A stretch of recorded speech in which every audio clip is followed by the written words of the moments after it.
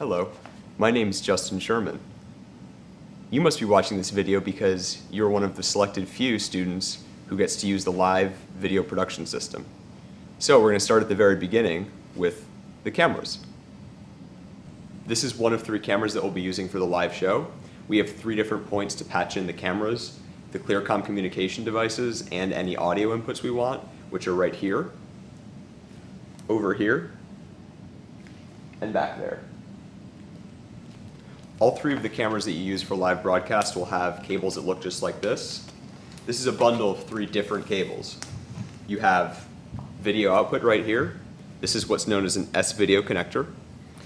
You have very familiar power cable, which is for the camera itself because it doesn't run off of battery. And what looks like a mic cable. This is actually a mic cable, but it's being used in this system for the ClearCom communication system. So all three of these things need to get plugged in on every single camera in order for the system to work in its entirety. So let's go do that now. So first we're going to deal with power. This is a simple one. And we're good. Next we're going to plug in the ClearCom, which looks just like a mic connector because it is. The ClearCom boxes are two male XLR style jacks labeled ICM. For reasons unbeknownst to me, only the top one works, and the second one, the one on the bottom, doesn't do anything.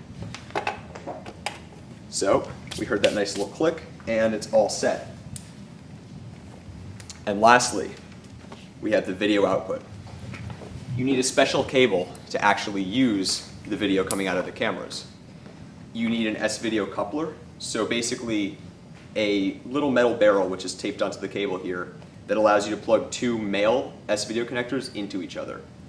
We also have these little short cables, we have three of them, that go from S-video male to what Mr. Honeycutt likes to call the pigtail, which is a yellow cable and a white cable with two kind of funky looking coax connectors on here called BNC.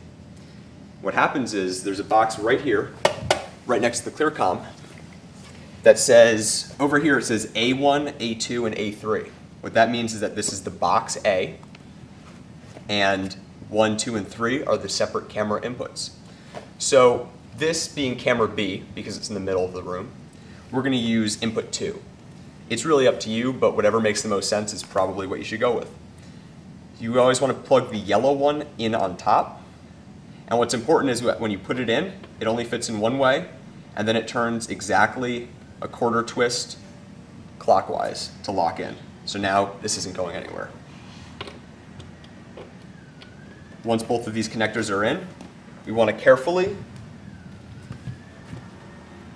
plug the S-video connector into the coupler.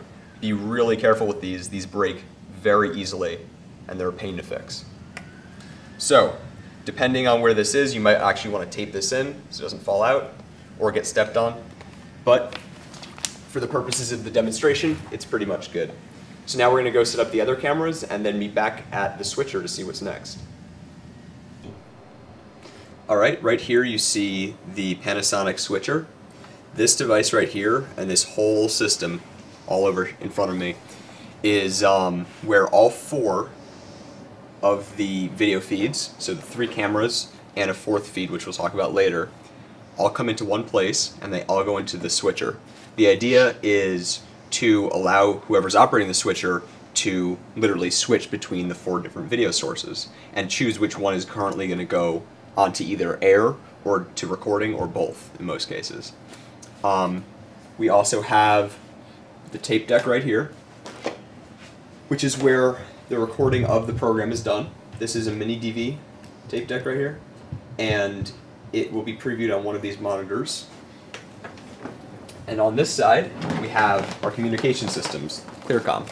So with this headset, and either this mic or this mic, depending on which one you prefer, you can communicate with everyone else who are on the cameras and give them direction during the show.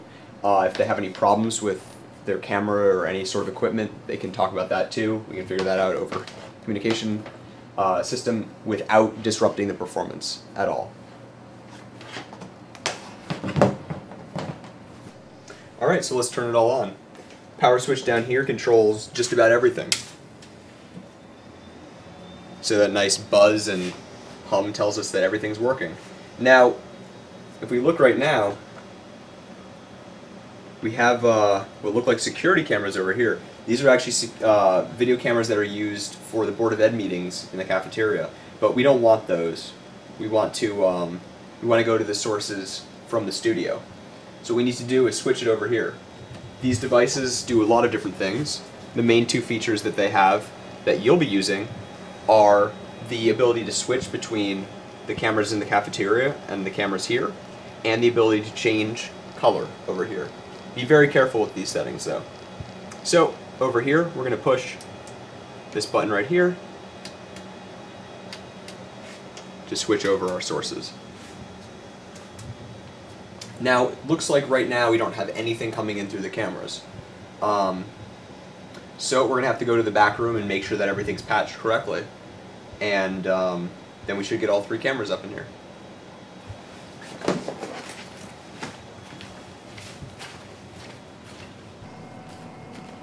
Come on, it's an adventure.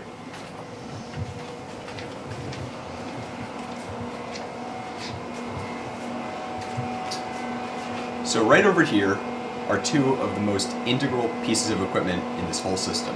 These are these have the potential to cause a lot of damage if they're mishandled. So be very, very careful in patching and double check all your numbers before you commit any patches into these. So down here is a little sheet that Mike Phillips made up for us. It has a list of all the sources. So a source would be like a camera. Um, and then all the destinations. So a destination, for example, which is on this sheet back here, a destination might be input number one into the switcher, or input 2 into the switcher, or 3 or 4. So, there are multiple packets of these, and there are two different kinds of inputs. This is where it gets really tricky. There are what are known as YC inputs, which include anything that is an S-video connector or one of the yellow and white cables. If you look closely, it says Y and C on there. And then there's what's called composite video. Composite video is the standard video you're used to under TV, like the yellow, white, and red. The yellow there is the only video feed on that. That's composite because it's just one cable for the video. So where this gets tricky is that this piece of equipment right down here handles both kinds of video. And both the composite and the YC use the same numbers for sources and destinations as each other. So over here, we have two different buttons differentiating which one you want to deal with. So let me give you an example. It might be easier that way. Let's say that we have Studio Camera Jack A2. That's our camera B, if you remember from earlier in the video. So it says right here that that source, first of all, it's a YC source, as we talked about, and it is number two. It's, it's source two. So what we're going to do is, as this sheet says right up here, we're going to push the button labeled in, and now all the numbers have lit up for us. And we're going to type in the input number, or the source number. So we push 2. Now we're going to push out and tell it where to go. And we're going to take a look at this. And now this is a little cryptic, but it makes sense. The control room TBC is basically code for those machines to the right that allow you to switch video and change color. And those go straight into the switcher. So you want to assign it to the TBC. So because it's camera B, we're going to put it into input 2. A will be 1, B will be 2, C will be 3. So that's destination 2. So we've pushed out already, and now we push 2. Now, this is the really important part. Because it's YC, we have to push SVID take. YC and SVID, or S-video, are basically the same thing. So if we push video take here, it's going to think that the source and destination were actually composite video rather than YC. And so you can put in the complete right numbers and then push one wrong button and all of a sudden things are patched in a very strange way and you're not quite sure why. So it's really important, double check and maybe even triple check if you're using SVID or composite before you push the button.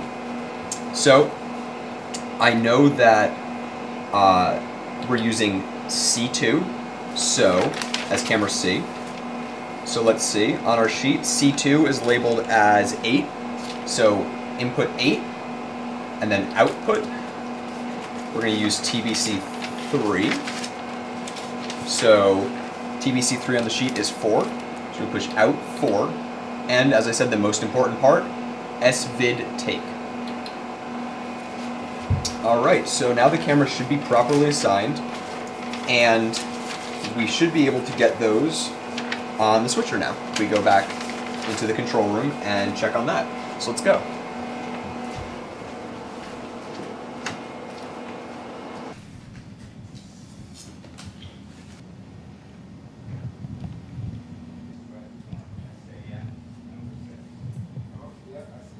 As you can see, all three of the cameras are focused on interesting posters throughout the room. All of them are on different posters so that we can make sure that we're getting all three cameras and not a duplicate somehow. That can happen with the, uh, the matrix switcher. Um, and we're going to just make sure that all three of the cameras are coming into the switcher separately, into the right inputs, and also make sure that the ClearCom system is all set up and working properly.